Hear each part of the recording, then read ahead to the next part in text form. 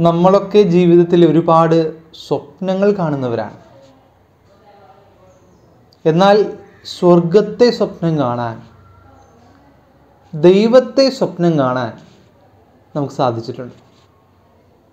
നമ്മളൊക്കെ കേട്ടിട്ടുണ്ട് നമ്മൾ എന്തിനെക്കുറിച്ചാണ് അധികവും ചിന്തിക്കുന്നത്? അതാണ് ഈ സ്വപ്നങ്ങളിൽ കൂടുതലായിട്ട് കടന്നു വരാം ഈ ക്രിസ്മസ് നാളുകളിൽ ദൈവത്തെ സ്വപ്നം കണ്ട് ഉറങ്ങാൻ മറന്നുപോയ ഒരു നീതിമാനെ കുറിച്ചാണ് നമ്മൾ ചിന്തിക്കുന്നത്. നമുക്ക് ചുറ്റും ഒരുപാട് സൂപ്പർ സ്റ്റാറുകളുണ്ട് അല്ലേ? ശക്തിമാൻ സ്പൈഡർമാൻ അങ്ങനെ തുടങ്ങി ഒരുപാട് മാന്മാരുണ്ട് പക്ഷെ നീതിമാനാകാൻ നിനക്ക് സാധിക്കുന്നുണ്ടോ? നീതിമാകനാകണമെങ്കിൽ നീ ദൈവത്തെ സ്വപ്നം കാണണം. നമ്മുടെ ഉറക്കങ്ങളിൽ ദൈവത്തെ സ്വപ്നം കണ്ടുകൊണ്ട് ഉണരുവാനും ഉറങ്ങുവാനും സാധിക്കണം.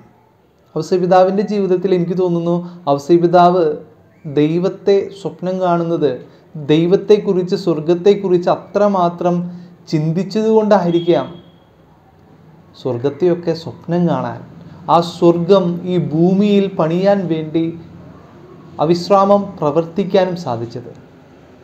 ഈ ഔസപിതാവിന്റെ ജീവിതത്തിലേക്കൊന്ന് നോക്കുമ്പോൾ സഞ്ചാരമായിരുന്നു.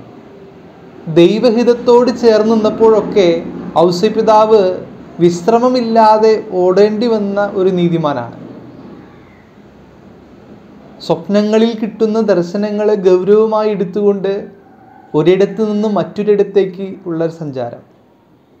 സ്നേഹമുള്ളവരെ ദൈവത്തോട് ചേർന്ന് നിന്ന് കഴിഞ്ഞാൽ ദൈവത്തെ സ്വപ്നം കണ്ട് ജീവിച്ചു കഴിഞ്ഞാൽ ദൈവം നിന്നെ സംരക്ഷിച്ചു കൊള്ളും തിരുകുടുംബത്തെ ഔസപിതാവിന് സംരക്ഷിക്കാൻ സാധിച്ചത് ദൈവത്തെ സ്വപ്നം കാണാൻ സാധിച്ചു എന്നുള്ളതാണ് ഔസപിതാവിന് പറ്റിയ ഏറ്റവും വലിയ അനുഗ്രഹം. അതുകൊണ്ട് സ്നേഹമുള്ളവരെ നമുക്ക് സ്വർഗത്തെയൊക്കെ ഒന്ന് സ്വപ്നം കാണാൻ പഠിക്കാം. നമ്മുടെ കുടുംബത്തിലെ കുഞ്ഞുങ്ങളെയൊക്കെ ഒന്ന് സ്വപ്നം കാണാൻ പഠിപ്പിക്കാം. അവർ ഭാവിയെക്കുറിച്ചൊക്കെ ഒരുപാട് സ്വപ്നങ്ങളുണ്ട്. കളക്ടർ ആവണം എഞ്ചിനീയർ ആകണം ഡോക്ടർ ആകണം ഒരുപാട് സ്വപ്നങ്ങളുണ്ട്. പക്ഷേ നീതിമാനാകാനായിട്ട് നീതിമാൻ എന്ന് പറയുന്ന ആ ഒരു തലത്തിലേക്ക് ഉയരാൻ തക്ക വിധമുള്ള സ്വപ്നം കാണാനായിട്ട് നമ്മുടെ കുഞ്ഞുങ്ങളെ ഒന്ന് പഠിപ്പിക്കാം. അവസപിതാവിന്റെ ജീവിതം നമ്മുടെ മുമ്പിലൊരു വെല്ലുവിളിയാണ്. ചിലപ്പോഴൊക്കെ തെറ്റിദ്ധരിക്കാവുന്ന സാഹചര്യം മുൻപിലുണ്ടായിട്ട് പോലും ദൈവത്തിന്റെ അഹിതം തിരിച്ചറിഞ്ഞുകൊണ്ട് ജീവിക്കാൻ സാധിച്ചതുകൊണ്ടാണ് ഔസപിതാവിന് സുവിശേഷത്തിൽ സ്വർഗം നീതിമാൻ എന്ന് പേര് കൽപ്പിച്ചിട്ടുള്ളത്. നിന്റെ മുൻപിൽ ചിലപ്പോൾ തെറ്റിദ്ധാരണയുടെ സാഹചര്യങ്ങൾ നിന്റെ കുടുംബജീവിതത്തിലുണ്ടാകാം നിന്റെ സമൂഹ ജീവിതത്തിലുണ്ടാകാം പക്ഷേ ദൈവഹിതത്തോട് ചേർന്ന് നിൽക്കുമ്പോൾ അതൊക്കെ നിനക്ക് വെളിപ്പെടുത്തി കിട്ടും. നമുക്കും ഔസപിതാവിനെ പോലെ ഒരു നീതിമാനായി ജീവിക്കാൻ ചിലപ്പോൾ നമ്മുടെ ചുറ്റുപാടുമുള്ള വിഷയങ്ങളിലൊക്കെ ഇടപെടേണ്ടതായിട്ട് വരും. ചിലപ്പോൾ നമ്മളെയൊക്കെ ഒറ്റപ്പെടുത്തേണ്ടതായിട്ട് വരും. ചിലപ്പോൾ നമ്മളൊക്കെ മാറി നിൽക്കേണ്ടതായിട്ട് വരും. എന്നിരുന്നാലും നന്മയുടെ പക്ഷം ചേർന്നുകൊണ്ട് ദൈവത്തെ സ്വപ്നം കണ്ട് ദൈവത്തെ സംരക്ഷിച്ചുകൊണ്ട് നമ്മുടെ കുടുംബത്തെയൊക്കെ സംരക്ഷിക്കേണ്ടതായിട്ടുള്ള ചുമതല ചിലപ്പോൾ നമുക്കുണ്ടാകാം.